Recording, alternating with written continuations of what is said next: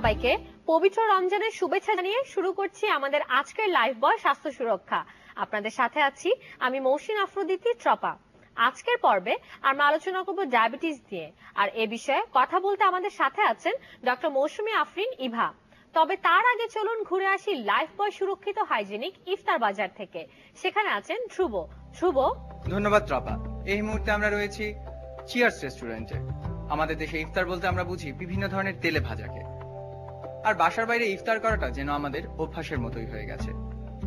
অনেকে অফিস থেকে বাসায় ফিরে ইফতার তৈরি করতে পারেন না। বিধায় বাইরে থেকেই ইফতার আইটেম কিনে ঘরে ফেরেন। আবার অনেকেই পছন্দ করেন রেস্টুরেন্টে বসেই ইফতার করতে। আবার অনেকে শপিং করতে গিয়ে ফেসে যান, তাই সেখানে বাধ্য হয়ে ইফতার করতে হয়। কিন্তু দর্শক কখনো কি ভেবে দেখেছেন এই ইফতারগুলো কতটুকু স্বাস্থ্যসম্মত? চলুন কথা বলি চিয়ার্স রেস্টুরেন্টের কর্তৃপক্ষের সাথে। তারা কি চিন্তা করছেন এই স্বাস্থ্যসম্মত ইফতার নিয়ে? হ্যালো ভাইয়া একটু কথা বলি। কেমন আছেন? জি ভালো আছে। আচ্ছা ভাইয়া রমজান মাস উপলক্ষে আপনারা কি ধরনের ইফতারি আইটেমস এনেছেন? আমাদের রমজান উপলক্ষে আমাদের স্পেশাল যেমন মাটন হালিম আছে then tandoori chicken Hyderabadi biryani Indian কিছু খাবার এগুলো আমরা এড করছি। তাছাড়া তো আমাদের এগুলো যে মেনুগুলো সেগুলো অ্যাভেলেবল আছে আমাদের। আচ্ছা আচ্ছা। এই যে আইটেমসগুলো এগুলো কি স্বাস্থ্যসম্মত উপায়ে তৈরি করা হচ্ছে? জি অবশ্যই আমরা এগুলো সব দিকে খেয়াল রেখে পরিষ্কার পরিচ্ছন্ন পরিবেশ এবং উপর ই করছি একটা রেডি করছি এটা। আচ্ছা আচ্ছা। ভালো মতো হাত পরিষ্কার করা হয়? জি। এটা লাইফ বয় হ্যান্ড ওয়াশ দিয়ে আমাদের হাত পরিষ্কার করা হয় এবং সব সবসময় পরিষ্কার থাকে এটা। আচ্ছা আর রোজাদারদের জন্য এই ইফতার আইটেমগুলো কতটুকু স্বাস্থ্যসম্মত? এটা তো আমরা বলব হান্ড্রেড পার্সেন্ট স্বাস্থ্যসম্মত আমরা এভাবে করি যে তেলটা ইউজ করি সেটা সব মানে পিওর এখন সব কিছু আমরা ওই ভালো ই করে এটা।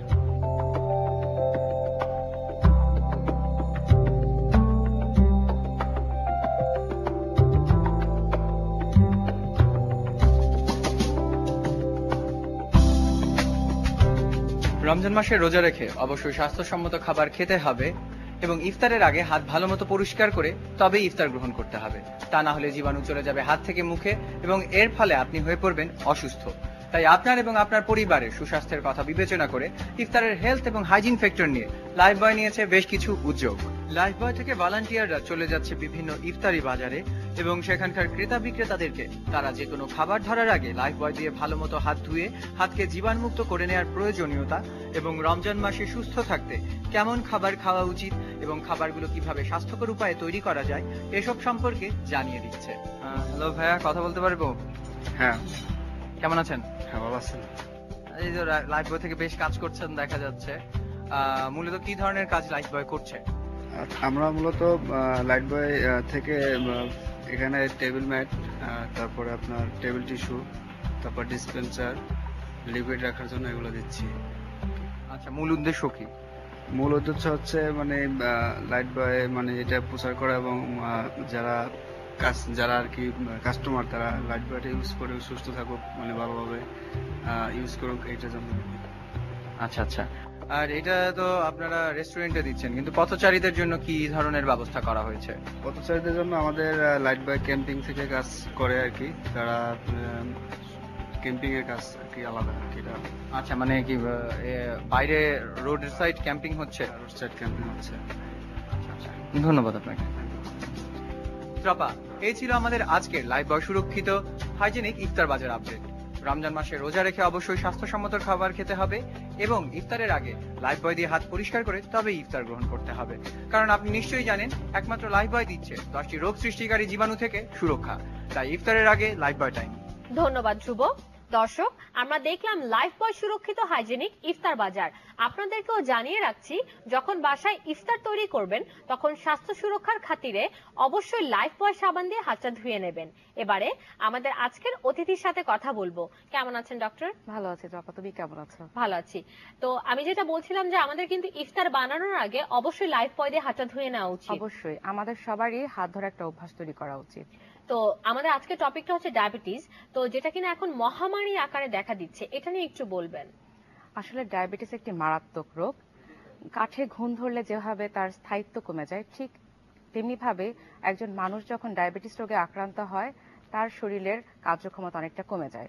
এটা একটি মেটাবলিক ডিসঅর্ডার ডায়াবেটিসটাকে আমরা বিভিন্ন ভাগে ভাগ করে থাকি, মূলত চার ভাগে।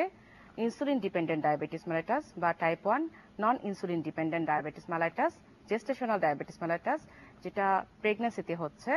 আরেকটি আছে আদার্স স্পেসিফিক ডায়াবেটিস এটি কেন হয় আমরা ঠিক সঠিকভাবে বলতে পারি না, কিন্তু কিছু ঔষধের কারণে যেমন steroid adrenocortico steroid hormone corticotropic hormone phenytoin কিংবা দেখা যাচ্ছে যারা যারা ডায়োটিক্স নিচ্ছে পাশাপাশি কিছু অসুখ যেমন যে প্যানক্রিয়াস থেকে আমাদের ইনসুলিনটা তৈরি হচ্ছে সেখানে যে ক্যালসিফিকেশন তৈরি হয় কিংবা যাদের ক্রনিক প্যানক্রিটাইটিস আছে সাথে কিছু ডিজিজ আছে যেমন অ্যাক্রোমেগালি কুশিং সিন্ড্রোম এদের ক্ষেত্রে এই ডায়াবেটিসটা ডেভেলপ করতে পারে। তো কখন আমরা বলব যে একজন পেশেন্ট ডায়াবেটিক এটি আসলে ব্লাড সুগার করে আমাদেরকে দেখতে হবে। যখন একজন মানুষের খালি পেটে seven point seven millimole cross করে যায় এবং ভরা পেটে eleven point one millimole blood sugar cross করে যায়, তখন আমরা তাকে ডায়াবেটিক বলতে পারি।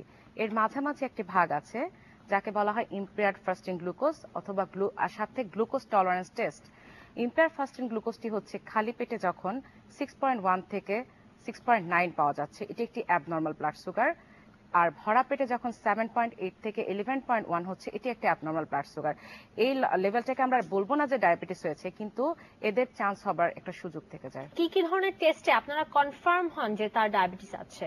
ডায়াবেটিসের টেস্টের মধ্যে প্রথম তো আমরা খালি পেটে একটা করে দেখে নেই ফাস্টিং আরেকটা দেখি র্যান্ডম খাবার পরে কিংবা ভরা পেটে। এর মাধ্যমে ডায়াগনোসিস করা যেতে পারে ডায়াবেটিস কিন্তু কনফার্মেশন একটা টেস্ট আছে সেটা হচ্ছে ওজিটিটি এই ক্ষেত্রে একটা পেশেন্টকে আট থেকে চোদ্দ ঘণ্টা না খেয়ে থাকতে হয়। তারপরে খালি পেটে একটা ব্লাড সুগার করা হয়। এর পরবর্তীতে তাকে পঁচাত্তর গ্রাম গ্লুকোজ দেওয়ার পরে ঠিক একশো বিশ মিনিট পরে কিংবা দুই ঘণ্টা পরে আরেকটি ব্লাড সুগার করা হয়ে থাকে। আচ্ছা। এর পাশাপাশি আরও একটি টেস্ট করা যেতে পারে তিন মাসের একটা গড় টেস্ট যেটাকে বলা হয় হেমোগ্লোবিন এ ওয়ান সি এর মাধ্যমে আমরা শনাক্ত করতে পারি যে পেশেন্টের ডায়াবেটিস হয়েছে কিনা। আচ্ছা তো ওজিটিটি বা ওরাল গ্লুকোজ টলারেন্স টেস্ট যেটা এটা করে তো আমি কনফার্ম হলাম। তো এক্ষেত্রে আমাদের ডায়াবেটিসটা কাদের বেশি হচ্ছে?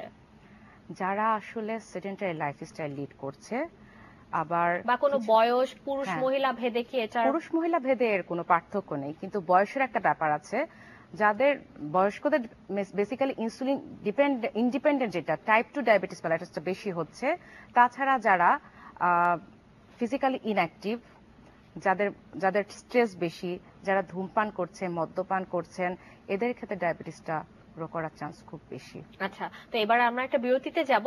বিরতির পর এসে আমরা ডায়াবেটিস নিয়ে আরও জানব। দর্শক ছোট্ট একটা বিরতি নিয়ে ফিরছি। আরও কথা বলব ডায়াবেটিস দিয়ে সঙ্গেই থাকুন। রিয়ার সাথে লাঞ্চ হাই রিয়া রাহুল তুই হাত ধুয়েছিস? মা বলেছে পুরো এক মিনিট ধরে সাবান দিয়ে হাত ধুতে তা না হলে জীবাণু থেকে যায়। ধুতে থাকো ধুতে থাকো ধুতে এই বান্টি তোর সাবান স্লো নাকি রে? লাইফ বয় হ্যান্ড ওয়াশ মাত্র 10 সেকেন্ডে সাধারণ সাবান যেখানে এক মিনিট নেয় সেখানে লাইফ বয় হ্যান্ড ওয়াশ নিরানব্বই দশমিক নয় শতাংশ জীবাণু থেকে সুরক্ষা দেয় দশ সেকেন্ডে ফ্লোরাল ফিউশন অয়েল সমৃদ্ধ লাক্স অতুলনীয় লাদারে ছড়ায় ফুলের চেয়েও দুই গুণ বেশি পারফিউম আমার সৌন্দর্যের রহস্য লাক্স পারফিউম আপনার সাবান কি ত্বকের জন্য রুক্ষ? আমরা হারমিন ও নাতাশার সাবান লিটমাস টেস্টে চেক করলাম। যদি পেপার নীল হয়ে যায়, তাহলে সাবানটি রুক্ষ। নাতাশা বেছে নিল তার প্রিয় স্যান্ডেল সোপ লিটমাসটি নীল হয়ে গেল। আর জাফবার রং একটুও বদলায়নি। আপনার সাবান আপনার ত্বকের জন্য রুক্ষ হতে পারে। ডাভ আলাদা। এক চতুর্থাংশ ময়শ্চারাইজিং ক্রিম সমৃদ্ধ ডাভ কোমল। বেছে নিন সেই বার যা কোমল। ডাভ এখন মাত্র পঁয়ত্রিশ টাকায়। আম্মু এখন কি ইফতার টাইম জিশান তোমার খিদে পেয়েছে? আব্বু এখন কি ইফতার টাইম আর মাত্র পাঁচ মিনিট তারপর সবাই একসাথে খাব। খাওয়ার জন্য বলছি না আমি বলছি খাওয়ার আগে হাত ধোয়ার কথা। ইফতারের আগে না লাইফ বয় টাইম বাহ কে শিখিয়েছে? আম্মু শিখিয়েছে।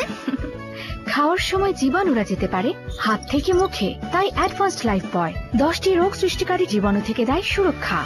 ইফতারের আগে লাইফ বয় টাইম আপনার বরফ লাগবে না? বরফ দিলে ভীষণ শিরশির করে। কারণ আপনার দাঁত হয়তো খানিকটা ক্ষতিগ্রস্ত হয়ে গেছে। আমি আপনাকে দেখাচ্ছি। অন্য সাধারণ টুথপেস্টের মতো নয়। পেপসোডেন্ট প্রো সেন্সিটিভে আছে এইচ যা আপনার দাঁতের সংবেদনশীল অংশকে মেরামত করে।